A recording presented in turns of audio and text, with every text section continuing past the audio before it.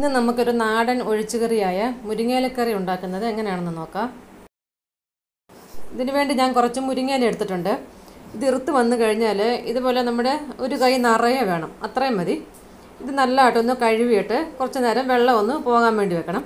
പിന്നെ ഇതിന് വേണ്ടി ഒരു അരപ്പ് തയ്യാറാക്കാൻ വേണ്ടി കുറച്ച് തേങ്ങ എടുത്തിട്ടുണ്ട്. ഏകദേശം ഒരു കപ്പിന് അടുത്ത് തേങ്ങ എടുത്തിട്ടുണ്ട്. ഒരു തീരെ ചെറിയ തേങ്ങയുടെ അരമുറിയോളം വരും. ടേബിൾ സ്പൂൺ കണക്ക് പറയുവാണെങ്കിൽ ഒരു പത്ത് ടേബിൾ സ്പൂൺ അത്രയും വേണം. ഇനി ഇതൊന്ന് നല്ലതായിട്ട് അരച്ചെടുക്കണം. അപ്പോൾ അതിന് വേണ്ടി ഇതിനകത്തോട്ട് രണ്ട് മീഡിയം സൈസിലെ വെളുത്തുള്ളി ഇട്ട് കൊടുക്കണം. മീഡിയം സൈസ് മതി. പിന്നെ ഒരു കാൽ ടീസ്പൂൺ ജീരകം നല്ല ജീരകം. അതുപോലെ അര ടീസ്പൂൺ മുളക് പൊടി. പിന്നെ അര ടീസ്പൂൺ മഞ്ഞൾപ്പൊടിയും ഇട്ട് കൊടുക്കണം. പിന്നെ ഇത് അരയ്ക്കാൻ ആവശ്യത്തിനുള്ള വെള്ളം ഒഴിച്ചു കൊടുത്തിട്ട് ഇത് നല്ല പേസ്റ്റ് പോലെ ഒന്ന് അരച്ചെടുക്കണം. ഇപ്പോൾ നമ്മുടെ അരപ്പ് ഇവിടെ റെഡി ആയിട്ടുണ്ട്. അപ്പോൾ കറി റെഡിയാക്കാൻ വേണ്ടി ഒരു ചീനിച്ചിട്ട് അടുപ്പിൽ വെച്ചിട്ട് കുറച്ച് വെളിച്ചെണ്ണ ഒഴിച്ചു കൊടുക്കണം. ഒരു ഒരു ടേബിൾ സ്പൂണോ ഒന്നര ടേബിൾ സ്പൂണോ മതി. വെളിച്ചെണ്ണ എടുക്കുന്നതായിരിക്കും നല്ലത്. ഇപ്പോൾ വെളിച്ചെണ്ണ ഇവിടെ ചൂടായിട്ടുണ്ട്. ഇതിലോട്ട് അര ടീസ്പൂൺ കടുക് ഇട്ട് കൊടുക്കണം. ഇപ്പോൾ കടുകൊക്കെ ഒന്ന് പൊട്ടി വരുമ്പോൾ ഇതിലോട്ട് രണ്ട് വറ്റൽമുളക് കട്ട് ചെയ്ത് ഇട്ട് കൊടുക്കണം. ഈ വറ്റൽമുളക് ഒന്ന് ഇളക്കി കൊടുക്കണം. ഇത് കുറച്ചൊന്ന് മൂക്കട്ടെ. ഒരു മീഡിയം ഫ്ലെയിമിൽ ഇട്ടാൽ മതി. ഇപ്പോൾ ഈ മുളകൊക്കെ കുറച്ചൊന്ന് മൂത്ത് വന്നിട്ടുണ്ട്. ഇനി ഇതിലോട്ട് ഒരു ചുമന്നുള്ളി ചെറുതായിട്ട് അരിഞ്ഞതും കൂടെ ഇട്ട് കൊടുക്കണം. ഈ ചുമന്നുള്ളിയും കൂടെ ഒന്ന് നല്ലതായിട്ട് മൂപ്പിച്ചെടുക്കണം.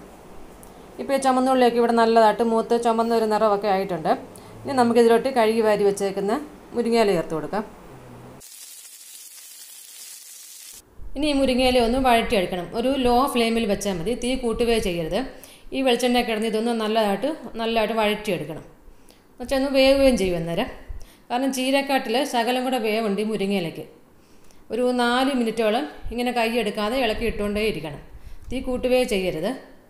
ഇപ്പോൾ ഒരു നാല് മിനിറ്റ് ആയിട്ടുണ്ട്. മുരിങ്ങയിലൊക്കെ നല്ലതായിട്ട് വഴന്നു വന്നിട്ടുണ്ട് വെന്തിട്ടുണ്ട്.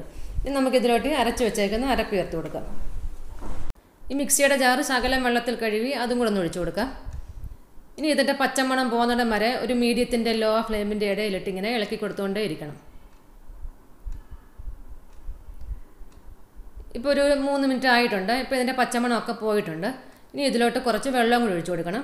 വെള്ളം ഒഴിക്കുമ്പോൾ ചെറിയ ചൂടുള്ള വെള്ളം ഒഴിച്ചു കൊടുക്കുന്നതായിരിക്കും നല്ലത്. ഏകദേശം ഒരു ഒന്നര കപ്പോളം വെള്ളം ഞാൻ ഇതിനകത്ത് ഒഴിച്ചു കൊടുത്തിട്ടുണ്ട്. ഇതിപ്പോൾ ഒഴിച്ചു കറിയാണല്ലോ അപ്പോൾ ആ ഒരു കട്ടിയിൽ വേണം ഇരിക്കാൻ നമ്മൾ മോരുകറിയൊക്കെ ഉണ്ടാക്കത്തില്ലേ? ആ ഒരു പരുവത്തിരിക്കണം. ഒരുപാടങ്ങ് തിക്കും ആവണ്ട ഒരുപാടങ്ങ് ലൂസും ആവണ്ട.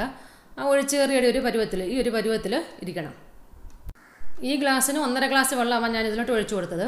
ഇനി ഇതിലോട്ട് ആവശ്യത്തിനുള്ള ഉപ്പും കൂടെ ചേർത്ത് കൊടുത്തിട്ട് ഒന്ന് നല്ലതായിട്ട് മിക്സ് ചെയ്ത് കൊടുക്കണം. ഇതൊരു മീഡിയത്തിന്റെ ലോ ഫ്ലെയിമിന്റെ ഇടയിലിട്ട് ഇങ്ങനെ ഇളക്കി കൊടുക്കണം. ഇതിന് ഇതൊന്ന് ചൂടാവണം. ഇത് തിളയ്ക്കുകയോ ചെയ്യരുത്. നല്ലതായിട്ടൊന്ന് ചൂടായി വരുവേ ആകാവൂ തിളച്ച് കഴിഞ്ഞാൽ ഈ തേങ്ങ അങ്ങ് പിരിഞ്ഞു പോകും. അപ്പോൾ ഇങ്ങനെ ഇളക്കി കൊടുത്തുകൊണ്ടേ ഇരിക്കണം. ഇതിപ്പോൾ ചൂടായിട്ടുണ്ട്. ഞാൻ മീഡിയത്തിന്റെ ലോ ഫ്ലെയിമിന്റെ ഇടയിലായിട്ട് ഇങ്ങനെ ഇളക്കി കൊടുത്തുകൊണ്ടേ ഇരുന്നു അപ്പോൾ നല്ലതായിട്ട് ചൂടായിട്ടുണ്ട്. അതുകൊണ്ട് ഈ ഒരു പരുവത്തിൽ വേണം കറി ഇരിക്കാൻ. പാകത്തിന് ഒഴിച്ചുകറിയുടെ പരവ്.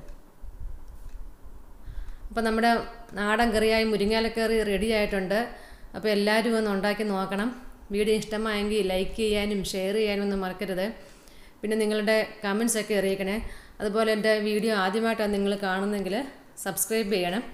താങ്ക്